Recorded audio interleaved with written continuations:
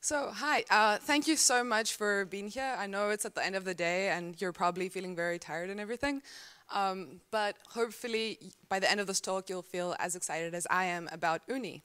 So, my name is Maria. I work with OONI, uh, which is an acronym which stands for the Open Observatory of Network Interference. Uh, it's a free software project under the Tor project measuring internet censorship around the world. Now, the title of this talk may seem a little bit provocative because uh, what we're claiming here is that we can collect evidence of internet censorship. And of course, this begs the question, what is evidence to begin with? Sometimes that is quite debatable. Um, so first of all, before we get to the evidence part, censorship. Um, as you'll probably know, uh, there is a fair amount of internet of censorship on the internet. Um, more so in some countries, less so in others. Um, but the question is, how can we detect censorship? How, do we, how can we even know uh, whether there is censorship in a country or in a network to begin with? Um, sometimes it's not obvious that something has been censored. For example, the fact that you may not be able to access a website may not mean that it is intentionally being blocked by an ISP.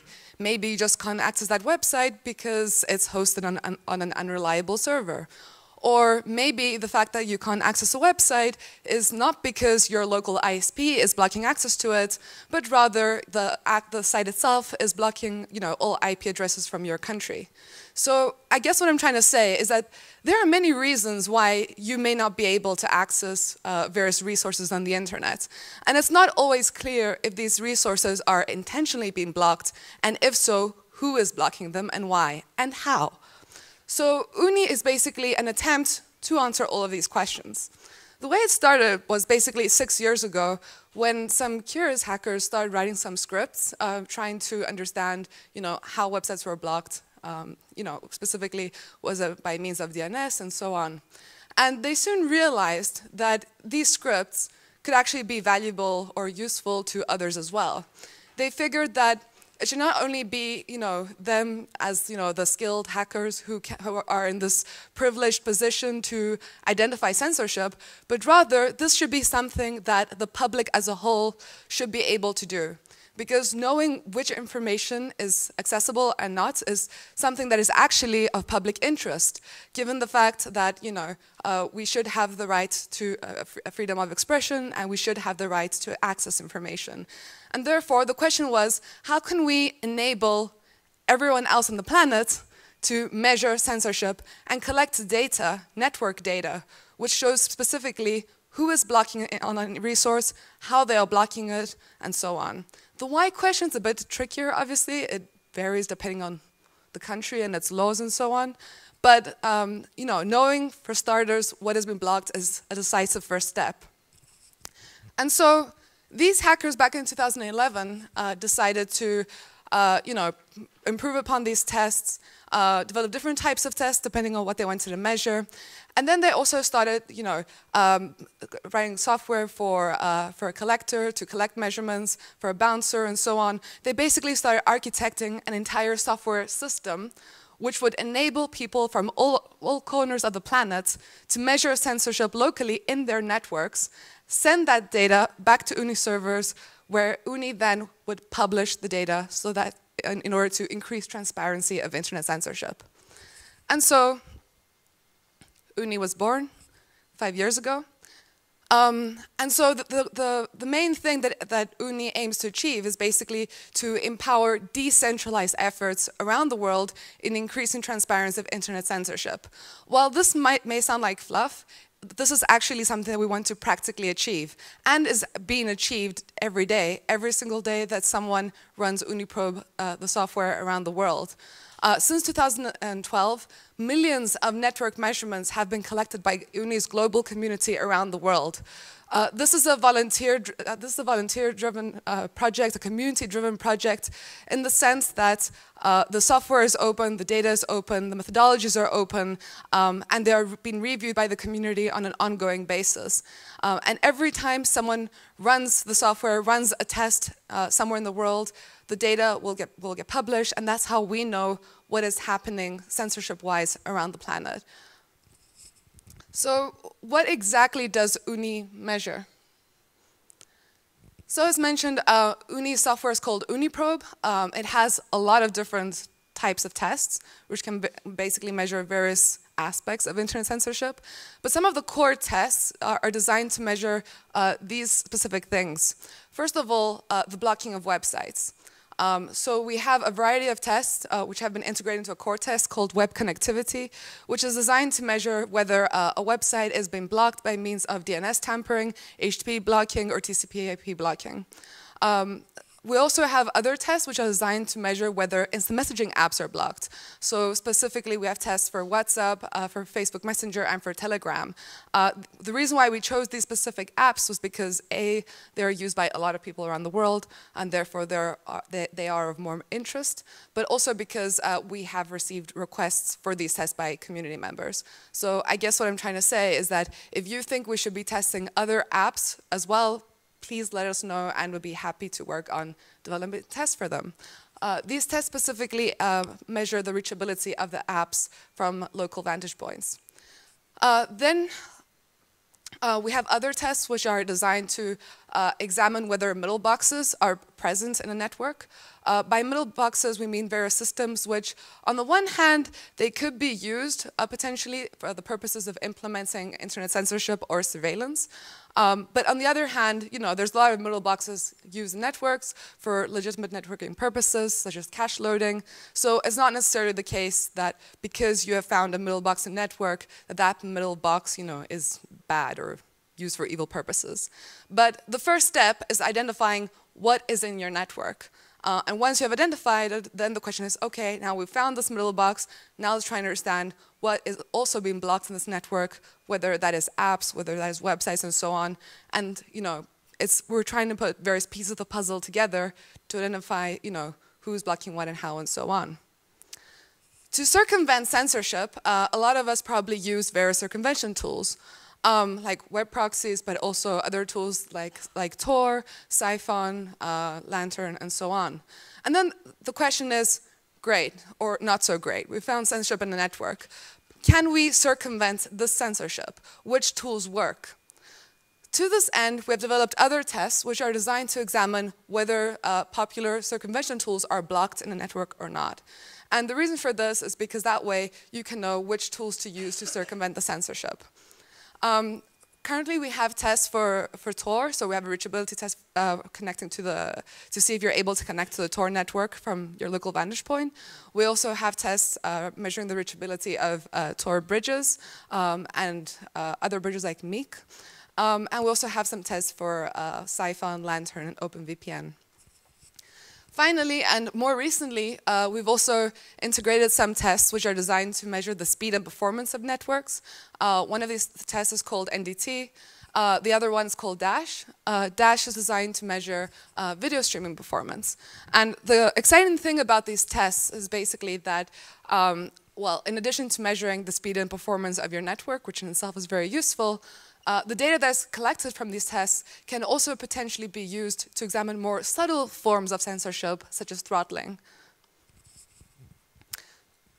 So, as I mentioned, these tests have been run, uh, have been run and are being run by tens of thousands of people around the world every day. Um, the, the data has been collected from more than 200 countries, so I don't think um, I have time or am able to talk about the 200 countries around the world. So I've only uh, selected a few case studies, if you will, um, from uh, our recent uh, research. I'm going to start off with Iran, which kind of feels like a cliche because a lot of people in the censorship measurement world like to focus on Iran. Um, but the reason why I'm starting off with Iran is actually because uh, I found it the most fascinating research-wise because we found the most censorship in, in there in comparison to other countries by far. Of course, our research has its limitations, but uh, we were able to confirm the blocking of, of more than 2,000 URLs uh, in, in Iran. Um, and actually, censorship in the country appears to be very pervasive because we saw that many different types of websites were found to be blocked. Often it is the case that in various countries you will find, so for example in Europe, um, often you will see that uh, gambling sites are blocked. And the, the, reason for that is because, say, gambling is illegal, or torrent websites, things like that, right? Or maybe in countries where pornography is illegal, you'll see that pornography is blocked. Um, but in Iran, what we see is that a lot of different types of websites, um, some of which the, the, blocking of which can be legally justified, but in other cases where it's not really clear what the legal justification is, uh, we also see those forms, those types of websites to be blocked. So within, so specifically, uh, we see that major platforms like Twitter, Facebook, uh, and even some uh, search terms on Google were blocked in Iran. Um, but we also see uh, other types of sites and services that you may not necessarily notice to be blocked as well. For example, we found, um, we found multiple Kurdish websites uh, to be blocked in Iran. This, I think, was quite interesting because it shows basically that politics influence decisions around censorship. And while many of us can say, yeah, obviously politics influence censorship, it's different to assume that and it's different to have data which actually, you know, proves that Iran is blocking Kurdish websites. Uh, this implies that, you know, that they may be attempting to reinforce uh, geopolitical dynamics of power, hence the motivation to block specifically a wide range of Kurdish websites. Um, and the reason why I'm stressing the term, uh, why I'm saying wide range, is because it's not like it was only Kurdish sites that were, uh, you know, expressing criticism towards the government, but it was also Kurdish news websites and human rights sites and so on. Um, there are many other cases where we see the role of politics in the censorship implemented in Iran. Um, so for example, we notice that a lot of US sites are blocked, a lot of Israeli sites are blocked, uh, regardless of their content. Um, but we also see, interestingly enough, that some sites are blocked in Iran, not by Iranian ISPs, uh, but by the sites themselves. Um, so for example, Norton uh, is not accessible in Iran, and the reason for this is not because Iranian ISPs are blocking the uh, antivirus software uh, site, but because the site itself uh, has to comply with US export laws, um, which basically translates into that they, they are, they are uh, forced to prevent Iranians from accessing their resource. Uh, similarly, we see that other services that use Google App Engine uh, are also blocked in Iran, not by Iranian ISPs, but by the services themselves, again, in compliance with uh, US exports uh, laws and regulations. Another interesting thing about uh, censorship in Iran is that it appears to be quite centralized because we noticed that the same sites were blocked by all of the ISPs uh, where tests were run throughout the duration, throughout a scope of three years. Um, so what you see here in this graph is basically uh, based on our data analysis, based on our uh, key findings, having analyzed thousands of measurements uh, collected over the span of three, of three years. And what we see here again is that since all of these ISPs, uh, which I think, if I recall correctly, were 60 different uh, ASNs, they, they're all blocking them in the same way. And this implies a centralized infrastructure for censorship. Another uh, even more interesting thing, interesting in my opinion at least, is that censorship in Iran does, appears to be non-deterministic. By this what we mean is that they're not always blocking a specific site. You will see that uh, ISPs will flip between blocking and unblocking sites.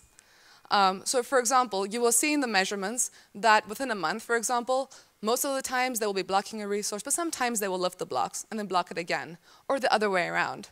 Um, it's not entirely clear why, why, they are doing this, but having looked at data throughout three years, it is clear that they are doing this.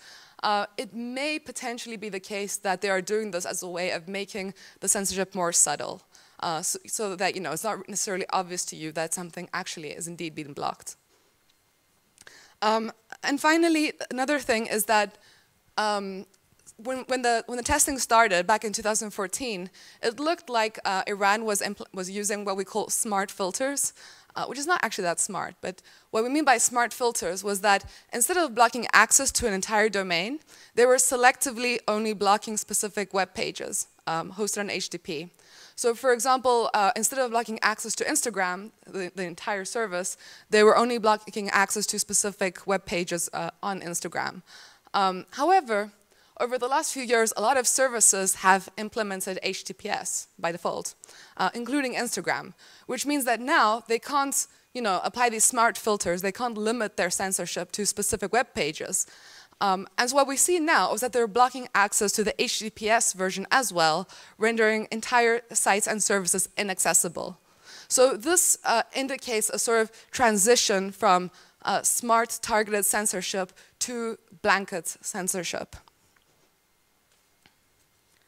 Um, and finally, and, and finally um, we also see that when, we say that censorship in, um, in Iran is, is, is, sophisticated, it's also because in addition to blocking a wide range of sites and services, um, they're also kind of cementing their censorship by blocking a wide range of circumvention tools as well.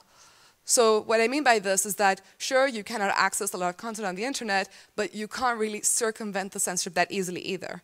Um, in addition to a wide range of web proxies, they're also blocking uh, very popular circumvention tools, like Tor, for example. We found the Tor network to be blocked in most uh, networks.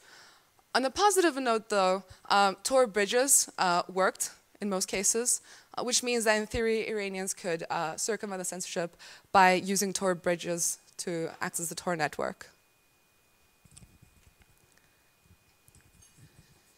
Uh, in Pakistan, um, which was another site that we did, again, looking at network measurements collected over the last three years, uh, we see that they're, they, they're using what we call smart filters, so selectively uh, only blocking sites, uh, uh specific uh, web pages hosted on HTTP. Uh, the interesting thing, though, is that they're not blocking sites on HTTPS. So, for example, when three years ago, they started blocking a wide range of content that had to do with the, the Draw Mohammed Day uh, campaign. I don't know if anyone's familiar with this or heard of it. No. Anyway, it was a very, very controversial campaign, um, which basically expressed uh, religious criticism towards Islam. And uh, yeah, this, uh, this in Pakistan is considered blasphemy and is being prosecuted under uh, Iran, uh, sorry, Pakistan's laws against blasphemy. And so back then, uh, they blocked, uh, instead of blocking access to uh, the whole of YouTube or the whole of Reddit or whatnot, they only limited their censorship to specific pages of YouTube and so on um, that were on HTTP. But now that they're on HTTPS, uh, you know, those specific web pages that, that, that are technically banned are accessible uh, over HTTPS. Um, we also see in, in Pakistan, quite similarly to Iran, that um, a, lot, a lot of websites uh, run by ethnic minorities uh, are being blocked as well. Uh, in Iran, we saw that sites run by the, Kurd, by the Kurds were blocked. Uh, in Pakistan, what we're seeing is that uh, websites uh, run by the Baloch and the Hazara ethnic minorities are blocked there as well, again indicating that potentially the motivation behind the censorship uh, is to reinforce certain geopolitical dynamics of power. In Indonesia, um, again, we were able to confirm the blocking of more than 160 websites. Um, the interesting thing in Indonesia was that we found Vimeo and Reddit to be blocked, but apparently their ban was lifted more than two years ago. And even though their ban was technically lifted more than two years ago, they're still blocked in Indonesia, according to the data that we're collecting. Um, the reason why I think this is very interesting is because it highlights the need for transparency. Transparency in terms of how the blocks are implemented, how long they're implemented for, whether these blocks are actually in compliance with local laws and regulations, and more importantly, it highlights the need to have some sort of process in place which ensures that bans are, that blocks are lifted, you know, uh, in time. Um, and this is something that we haven't seen only in Indonesia. Unfortunately, we have seen this in many countries around the world where, you know, ISPs are initially, they, they receive an order from the government to block certain websites, and then, you know, they, they sometimes just forget to lift the blocks. Uh, we need processes in place and we need more dialogue and discussion around this. And it hasn't been happening. And we really hope that uh, OONI data can support these types of discussions. Other types of sites that we found to be censored in Indonesia include LGBT sites um, and also sites that provide information on AIDS um, prevention. So the reason why I'm highlighting this here is because it's quite easy to notice when major platforms that we commonly use every day are blocked. It's quite easy to notice if, I don't know, WhatsApp is blocked or if Facebook is blocked because you'll notice, right? Since, since you're using it, if you're using it. Um, I don't know, I guess many of you probably heard of the Facebook outage yesterday or not? No, okay. Uh, there wasn't a case of blocking, but since it affected millions of people around the world, um, and it was all over the news. What we don't hear about often, though, is the, when, when the sites of minority groups are blocked. Um, those cases usually go unnoticed because, let's face it, who is monitoring whether the, the sites of, uh, I don't know, gender activists is are accessible every day? Who is monitoring the accessibility of LGBT sites? Who is monitoring the accessibility of religious minority sites? okay. Yeah, but what I'm trying to say is that these cases can go unnoticed. Um, and as long as censorship is implemented in the dark, you know, um, there is this potential for human rights abuse. Um, and so this is why we feel that it's important to use it so that we can have discussions. Uh, another interesting, uh, final interesting thing from Indonesia was that we also found an online translator to be blocked. And we also found the same online translator, as long, along with others, to be blocked in Iran as well. Um, why do you think an online translator would be blocked? Any ideas?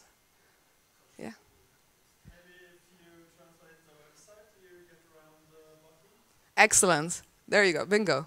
Yes, that that is. Yeah. So basically, if you, if you copy paste a URL into an online translator, it will give you access to the content of the website, even if that website is blocked in your network.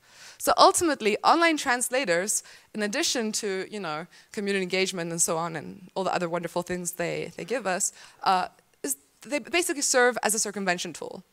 And because they serve as a circumvention tool, we see them blocked in many countries around the world, uh, including Indonesia and Iran. So why do you think that the, the sites, for example, that promote sex education or uh, AIDS prevention would be blocked? Any ideas on that? Maybe? I actually don't have an answer for this. Um, there is no clear legal justification, to my knowledge at least, and having consulted with our partners, there is no clear legal justification. So one can infer that likely these types of sites, uh, rather than having a, a clear legal backing, um, it infers that possibly, you know, social and cultural norms, uh, you know, influence decisions around censorship as well. Uh, social and cultural norms influence laws, laws influence social cultural norms, it goes both ways, but we ultimately see that a lot of this feeds into what is blocked. And what I'm trying to say here basically is that, you know, we can have discussions around what should be blocked, what shouldn't be blocked, and so on. And obviously censorship is not binary. It differs from country to country technically, but it also, but also it's motiva the motivation behind it differs and the justification differs depending on the laws and, and social and cultural norms of each country. But I really believe we need to have transparency to know what is blocked to begin with. And once we know what is blocked, then we can have this discussion on whether this is ethical, legal, or whatever. So this is a, uh, an example of a blog page from Indonesia.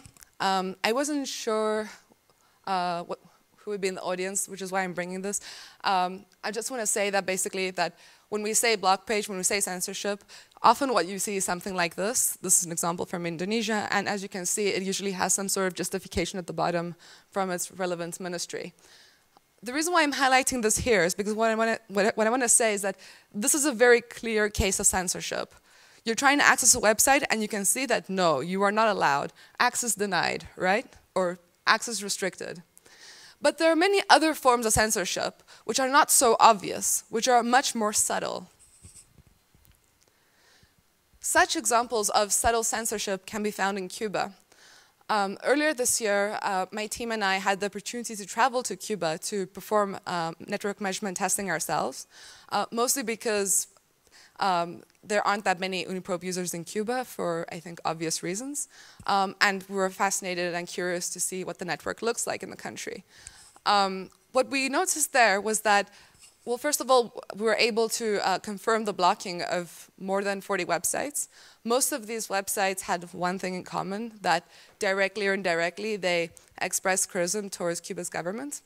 Um, however, it's worth noting that you know a lot of other sites that also express criticism weren't blocked.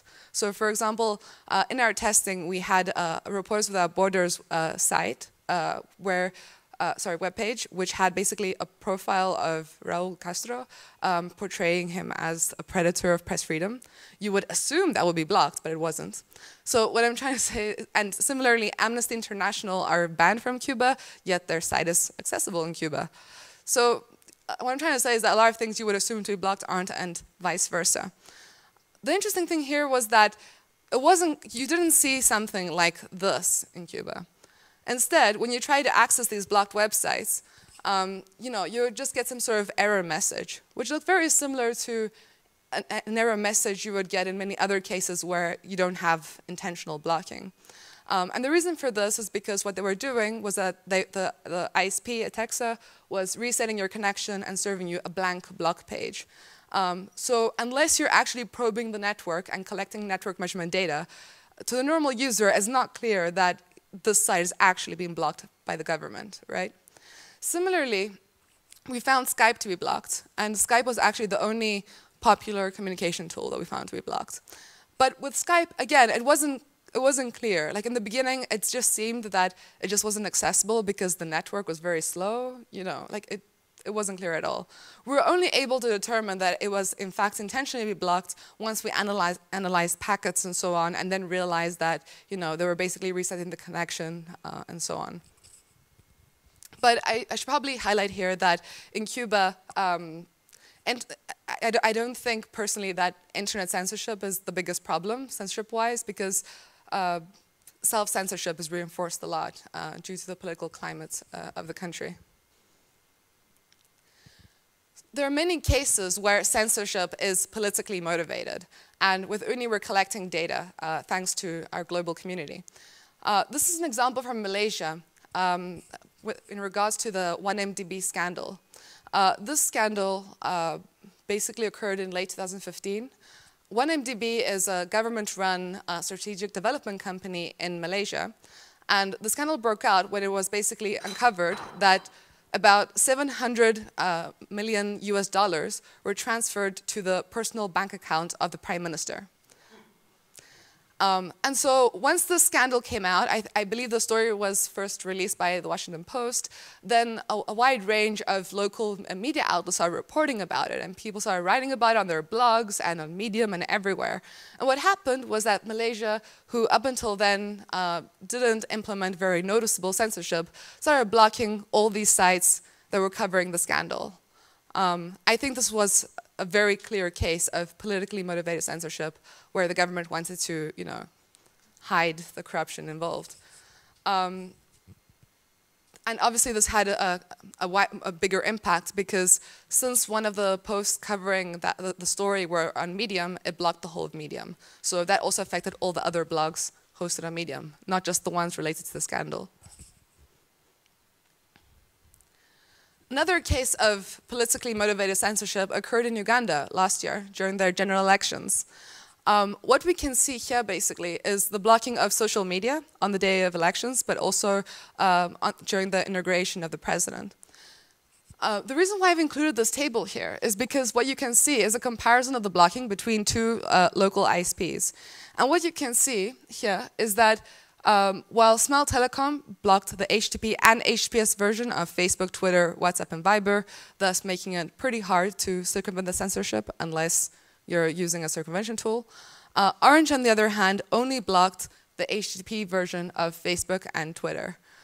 Um, we think that maybe the reason why they did this is because likely ISPs in Uganda received a very vague order from the government saying, block social media without specifying, okay, what do they mean by social media? Like which sites, which tools? Um, do they only want the HTTP or do they want the HTTPS version as well? And because they gave this, you know, vague order, it was then in the discretion of the ISPs to implement as much blocking they want to.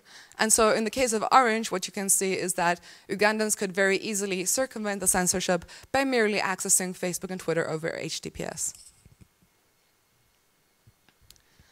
In Ethiopia, um, there were a lot of political protests, uh, which started in late 2015.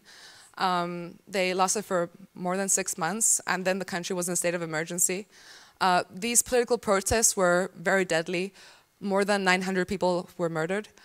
And these protests were basically waged by ethnic, uh, by ethnic groups in the country who were protesting against their persecution and marginalization by uh, Ethiopian authorities. Um, during this very chaotic time, um, somehow OONI-Probe was run in the country. And based on the data that was collected, uh, we were able to collect evidence that WhatsApp was blocked. Um, practically, this I, we think was somewhat a problem, given that you know in the middle of political uh, political protest, in the middle of all this chaos, uh, people actually couldn't use one of the most popular tools to communicate. Uh, we also uncovered the presence of DPI, which was used to block access to more than 15 major Ethiopian news websites. Um, so the reason why I'm emphasizing that they're Ethiopian is because we see that it's not only the case that ISPs are blocking foreign media, they're also sometimes blocking local media when they're reporting on news that you know they don't want to be covered. Um, we also found them to be blocking uh, the sites of the political opposition um, and also numerous uh, circumvention tools. Uh, we published a very comprehensive, uh, well, a long report on this in collaboration with Amnesty International, which you can find through the link below, um, and I encourage you to read.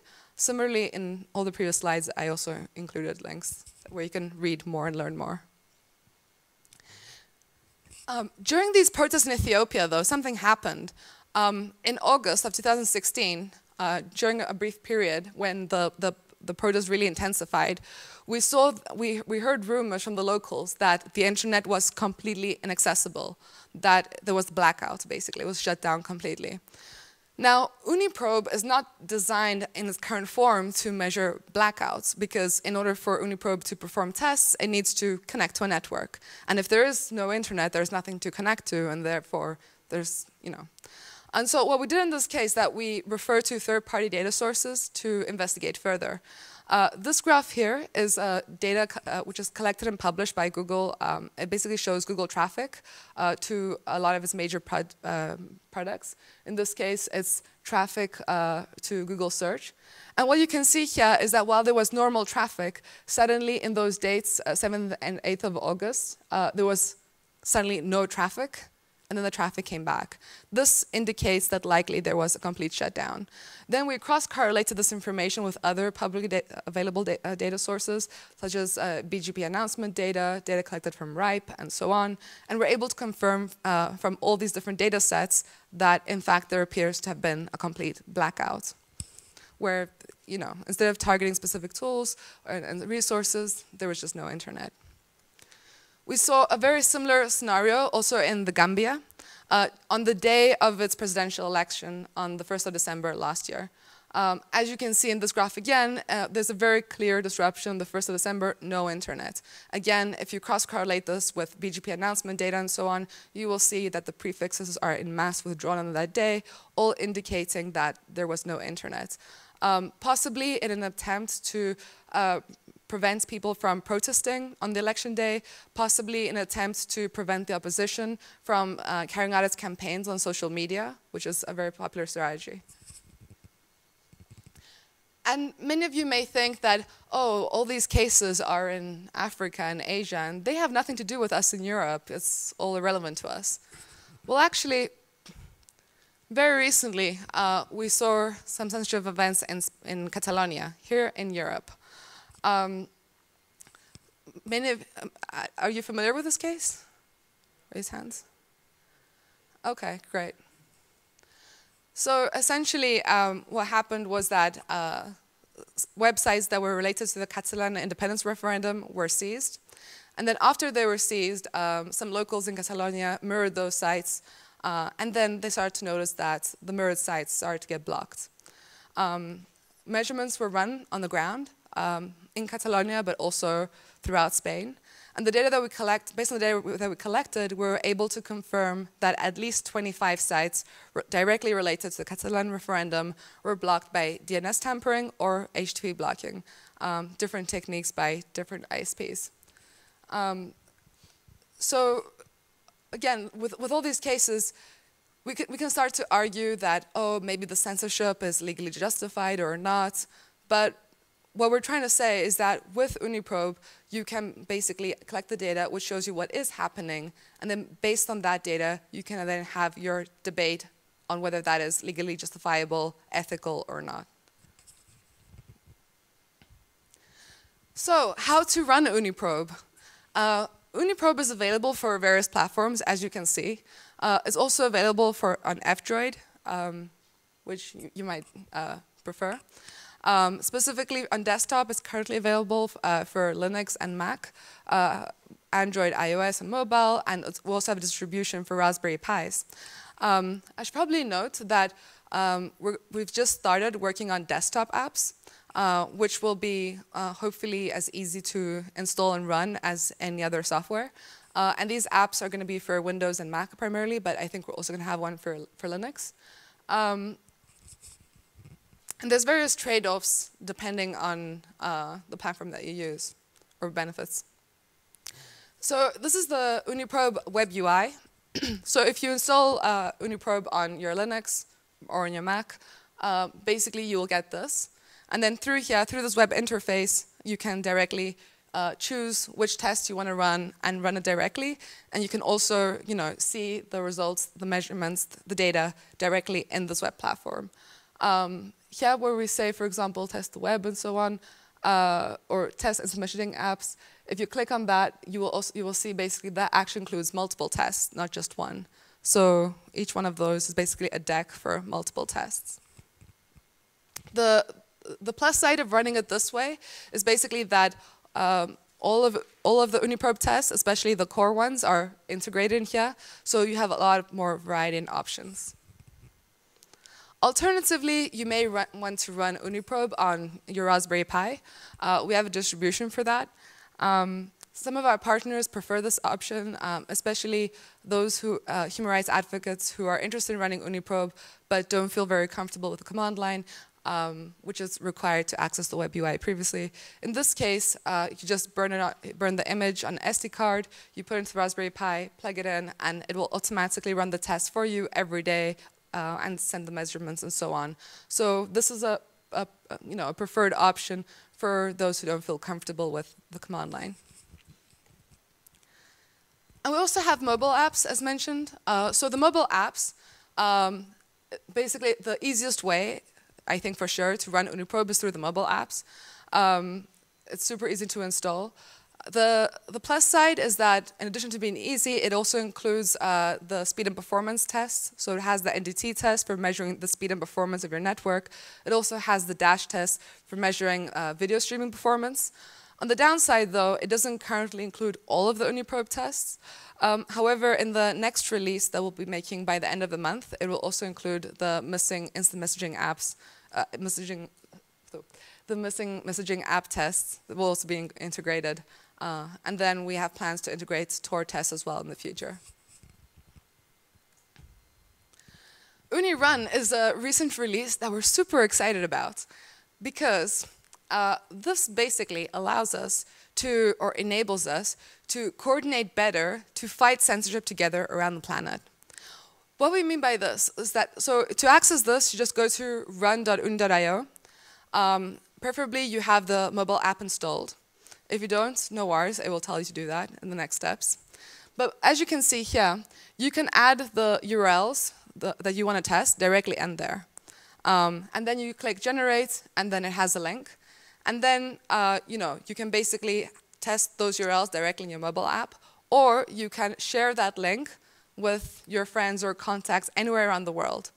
So if you have heard that a specific website is blocked in a country during an election or during some other political event, or you're suspecting that it may have been, and you want to collect data to learn more, you can just add that site here, generate a link, share that with people in that country through social media, through email, through whatever it is you want to share it with them. And then by clicking on that, it will prompt them to install the app and it will automatically start testing the websites. So what we can essentially do is that we can build a global network where we all coordinate to measure censorship together. And as you can see, it also includes other tests that you may be interested in. Also, once you click on the generate button, uh, it also has the option where, depending on what you want to test, uh, it will give you some code that you can embed in your website if you're interested in having the accessibility of your website monitored by OONI-Probe users around the world. Um, so by embedding the widget in your site, um, you know, you can then, OONI-Probe users will then be able to test your site on an ongoing basis, and you'll be able to know where your site is blocked around the world. However, um, there are some potential risks in the sense that um, OONI-Probe is not a privacy tool. It is a tool for investigations because of its nature. It is designed to measure a network to detect censorship. Therefore, there may be some potential risks as communicated to us by lawyers. Um, however, I should probably flag that to our knowledge, um, no one has ever got into trouble as a result of running OONI-Probe. So all of the risks that we detail uh, in a lot of detail in the risks documentation in the link below uh, are actually quite theoretical and speculative. Nonetheless, we, we feel that it's important that you are aware of at least three basic things.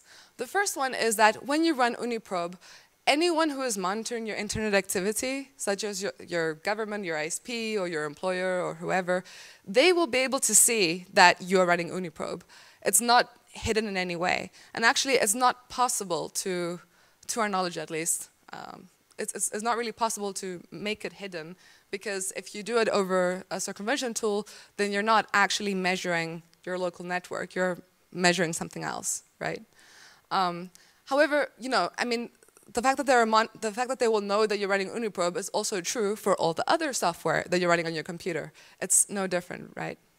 But for some users in some high-risk environments, this could potentially be a concern. That is why we feel that the more people are measuring their networks, the less risk is involved.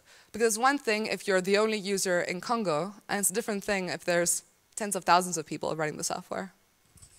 The other thing is that the types of uh, URLs that you will test may include, uh, you know, more uh, provocative or ob objectionable content, in the sense like pornography, for example. Um, the, main, the, the default way of running OONI-Probe is that it will, it will test a list of websites. And these websites are very diverse in their nature. But they also include things like pornography, hate speech, gambling, and so on. The reason why we include these more provocative slash illegal forms of content in there is because simply they're more likely to be blocked.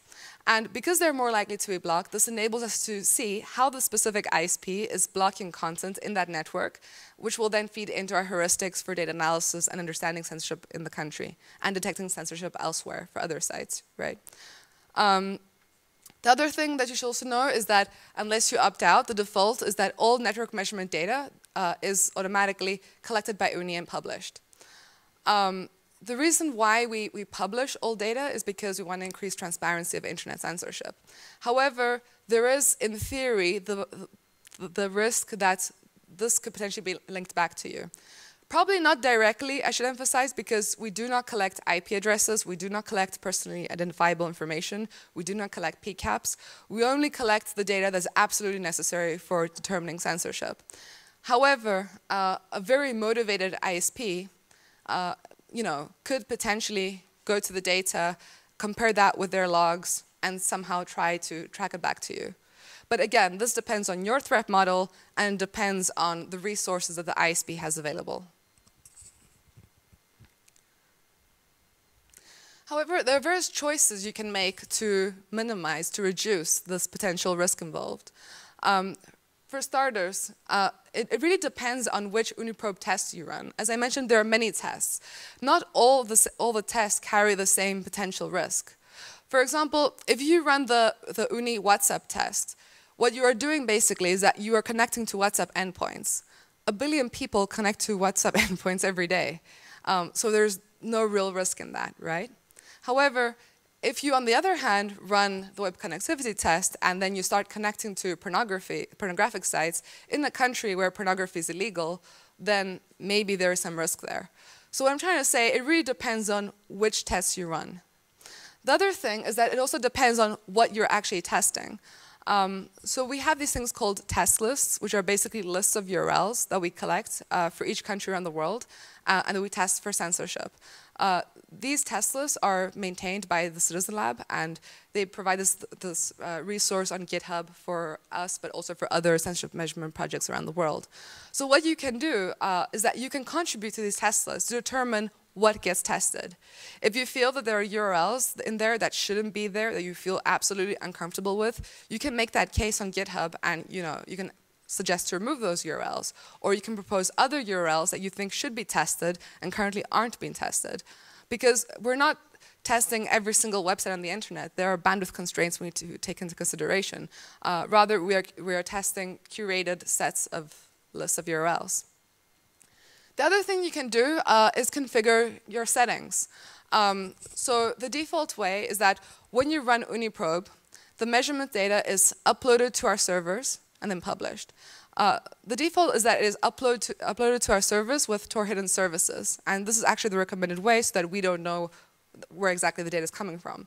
But you know, alternatively, you can upload the data with um, HTTPS collectors or with cloud fronting. We support both. There are pluses, you know, there are various trade-offs there. If you don't feel that, if your threat model is that, you know, there is no risk in running OONI-Probe in Norway, for example, and you want to optimize for submitting results as fast as possible, then maybe you want to use HTTPS collectors. But if you're running it, say, in Iran or somewhere else, then maybe you want to go with the default, which is Tor hidden services. So, or maybe in a country, or maybe you don't want it to be known that you are using Tor to begin with. Uh, so, because maybe in your country, you know, that in itself is not viewed very favorably. So maybe instead what you want to use is cloud fronting, where instead it looks like you're connecting to Amazon, but actually you're connecting to our servers. Um, so depending on your threat model, depending on what you feel comfortable with, there are various choices you can make. Um, and uh, again, so in the settings, what, what data do we collect? As I mentioned, we only collect the data that is necessary for determining censorship. So this includes uh, your ASN. Um, and the reason for this is because, you know, in order for us to be able to say that Vodafone is blocking whatnot in X country, uh, you know, we need to know the ASN number. We need to know who is implementing censorship. The other thing we collect is the country code so that we know in which country the censorship is happening, obviously. The other thing we collect is the date and the time of the measurements so that we know when it occurred. And then, depending on the test that you run, different network measurement data is collected. But again, we, because OONI, OONI has been a community-driven project since the very beginning, our software has been designed with volunteers and their privacy and security in mind. And while it's not a privacy tool, we do make choices in terms of tests that we have based on their security. Um, and then again, depending on the platform, there are various trade-offs there. So based on these things, there are various choices you can make depending on your threat model, depending on what you feel comfortable with, to run OONI-Probe in a way that makes sense for you. As I mentioned, test lists are lists of URLs that we test for censorship.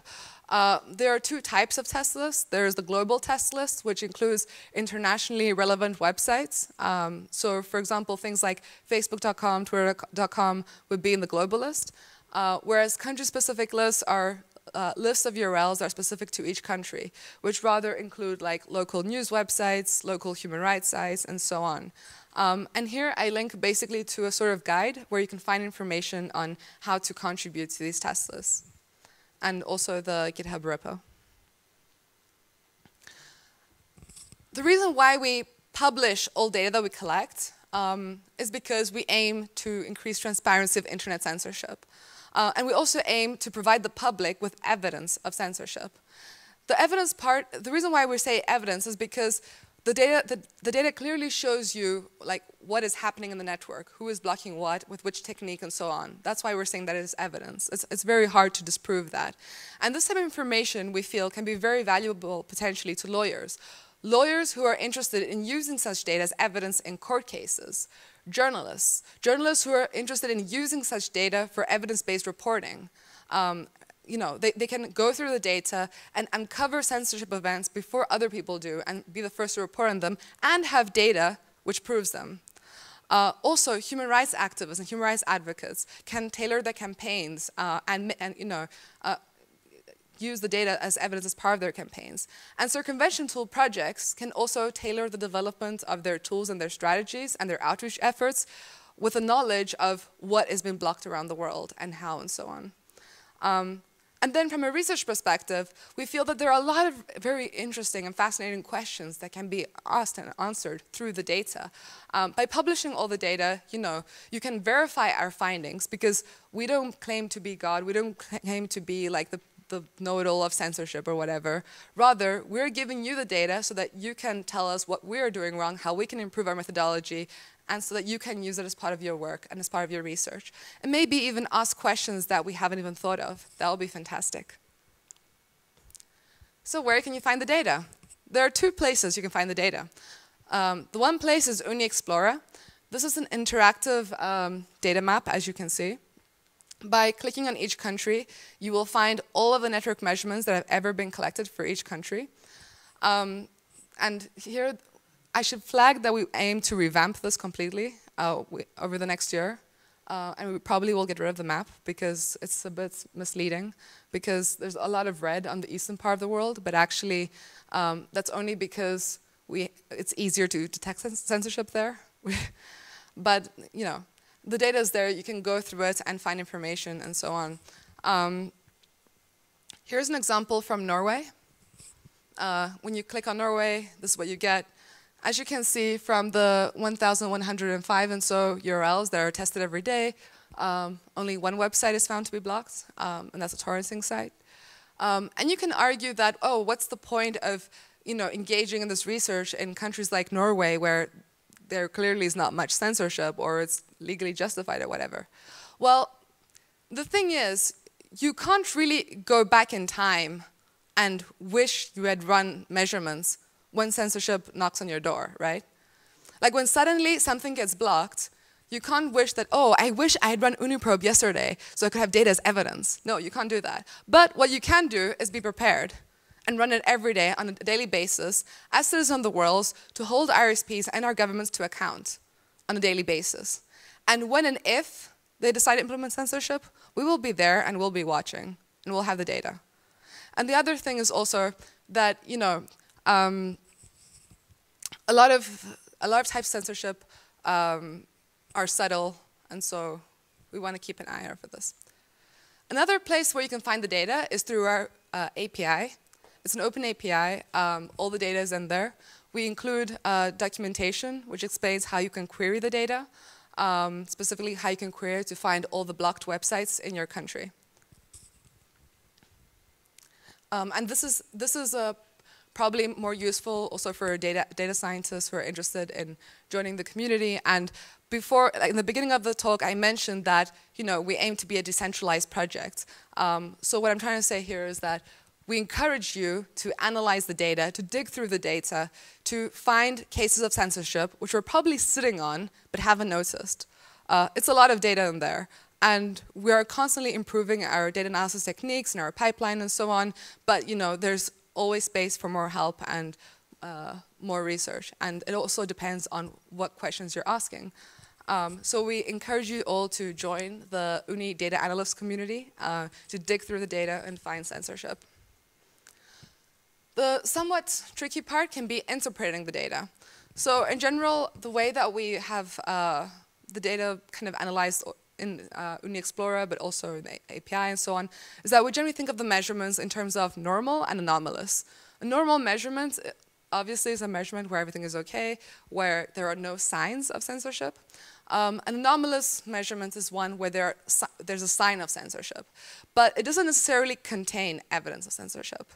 Um, because sometimes, for example, you know, we have false positives.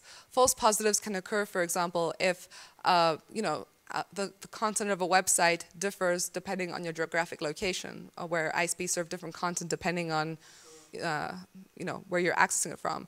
Or it can happen, for example, if there's a, if there's a CAPTCHA. There are many reasons why different false positives can occur.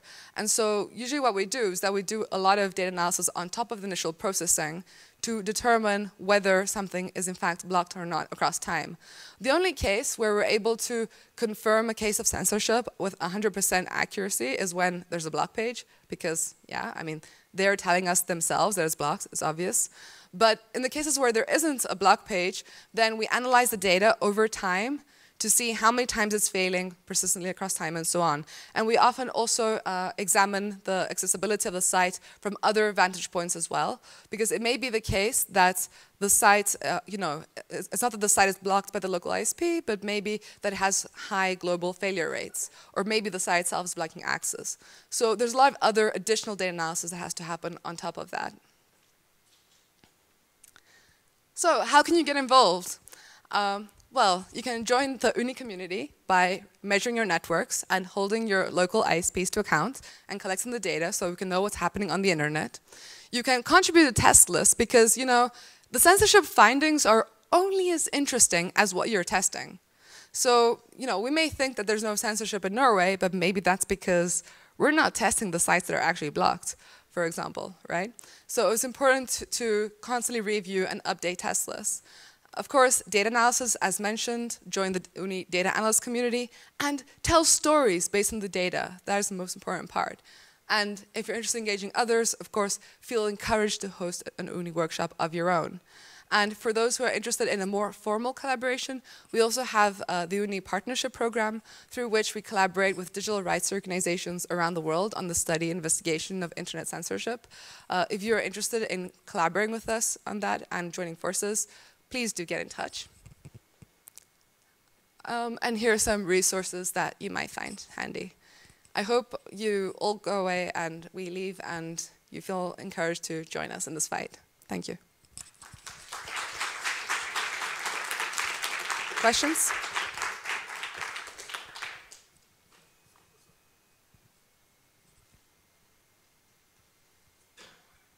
Yeah, um, uh, thank you, Maria. Um, I have to, I have to admit, um, I was a little bit biased, giving you more time. Um, uh, but I think you've talked about um, very important aspects, and uh, especially advocating for a decentralized system, which is critical. So right now, um, very quick um, questions.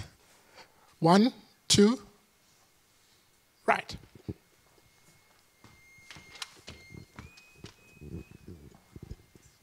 Um, Maria, I want to thank you for an excellent talk. And I, I, say this because most of the questions I had during the talk were answered. So it really worked well. Uh, yet I still have two very short ones. One is a bit silly. Um, like, what's your favorite censorship of them all? Maybe because it's, it's silly or it's brutal or it's uh, just absurd.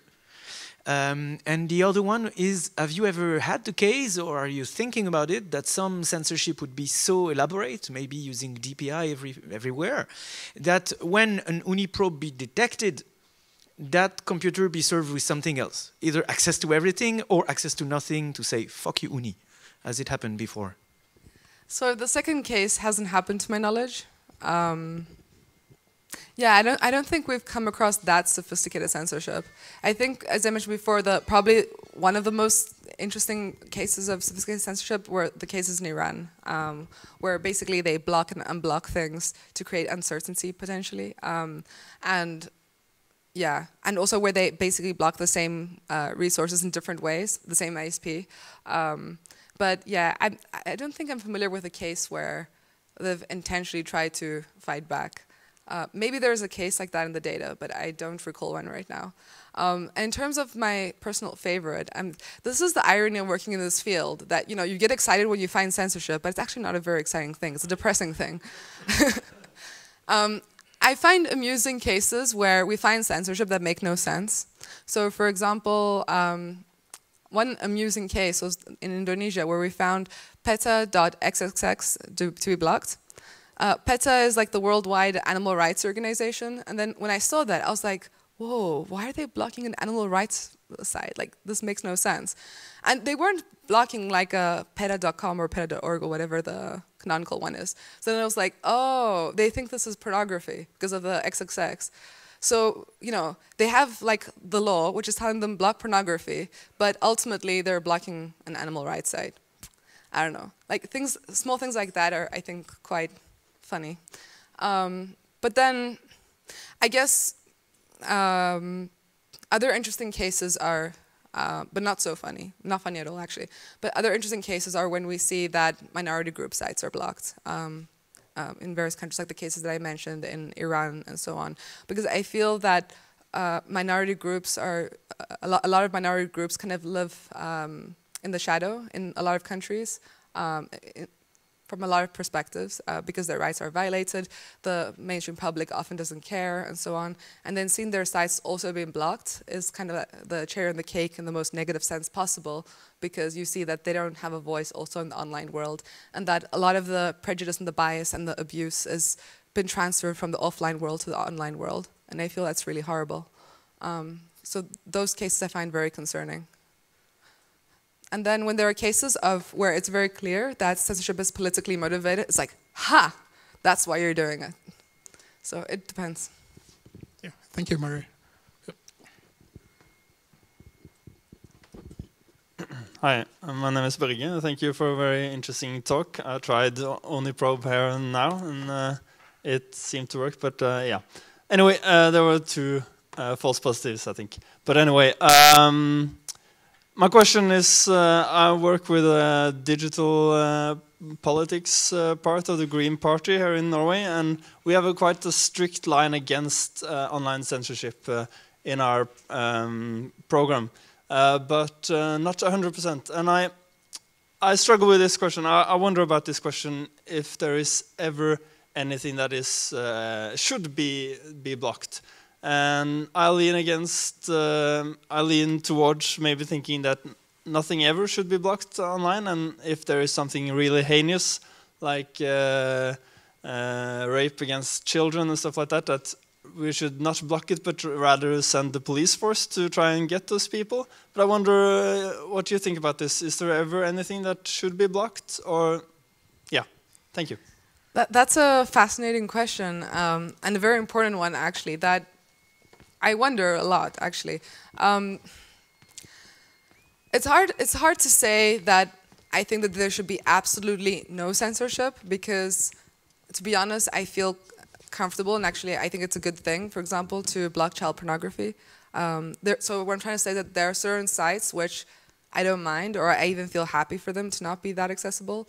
But then the the problem is though that where do you draw a line? Um, as OONI, generally, what we we're trying to refrain as much as possible from taking a position on whether certain censorship is good or bad.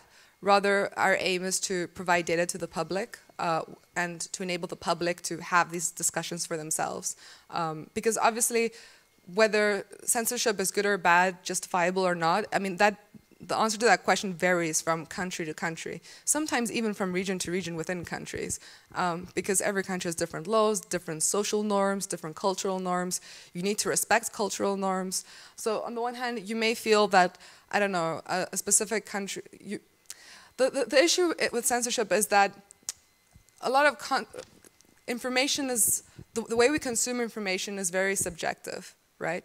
So I may consider certain information to be blasphemous, or I may consider to be horrible. Maybe someone, someone else doesn't. Maybe someone else considers that to be free, you know, free expression. Um, it's very debatable. Information and how we interpret information is very debatable uh, and very subjective, depending on the background of the person who's looking at the information. Um, so if we are in a position where we start making rules for what should be blocked or what shouldn't be blocked, those rules are again guided by our biases, our social um, background, our privileges, our cultural background, you know? And then where do you draw the line? Because based on the same logic, we see Muslim countries, uh, for example, blocking um, a lot of non-Islamic, a lot of religious sites that are non, not related to Islam. And you may argue that, oh, why are they doing that is suppressing religious expression. But from their perspective, that makes sense maybe, um, because maybe the content of those sites is considered blasphemous. So what I'm trying to say is that it's, it's very hard to say, and I don't, I don't think that we should ever reach a point where we, we can say with absolute certainty what the rules of good or bad information should be. Because if we reach that point, we're kind of doomed in the sense that we should always be rethinking uh, and we should always be we should always be reconsidering what we take for granted. We should always be questioning. We should always be considering all the possible angles. And once you start putting rules for censorship, you lose all of that. And that's also how you lose progress, progress of mind, progress of, of thought. So we need to, you know, provide a space where um, we are able to examine all these different types of information and from our perspective, we leave it up to countries to determine what they consider to be good or bad and so on based on their norms. Um, but if the information is public, you know, there can always be those voices, maybe minority voices, who may say, you know what, I actually think that this should not be blocked for X, Y, Z reason. But you can't even have the discussion if it's not transparent what is blocked to begin with. Sorry? I, I, what I just explained, yeah. Okay. Yeah. Um. One more. Yep. Yep.